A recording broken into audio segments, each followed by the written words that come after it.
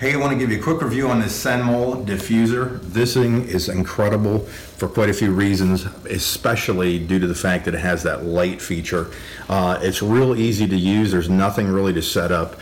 I'm just going to show you this here in a second. Uh, let me turn the power off. So right here's the power button, and I'm just going to turn that off. And then I typically just unplug it from the USB port.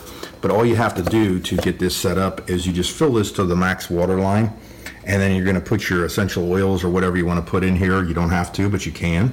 And then all I gotta do is set that down, plug it into a USB port, just like that. Automatically, the lights will show that it's on, and then I press the power button. And then once the power button comes on, it's gonna give me the different features of what kind of light I want, and I can just push that or that. See how it goes blue?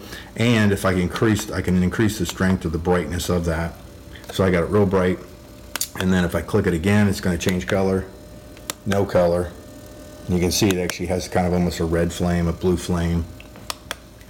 And then it'll go through and change colors like that. So it's really cool. Nice It- gift. It gives that great uh, ambiance and it does have a nice little, uh, the diffuser comes out, so you've just got basically just water in there and it, uh, you know, kind of uh, humidifies the air, does the things you needed to do.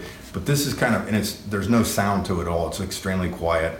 So what's nice about this is this is kind of the perfect thing you could have at your desk. You could sit this around your, uh, your bedroom, things like that, that if you want to get that nice aromatherapy going, uh, you know, maybe a, a yoga clinic or whatever, these things are fantastic. So if you're looking for a really cool diffuser with kind of a flame effect to it, pick this up. You're going to love it.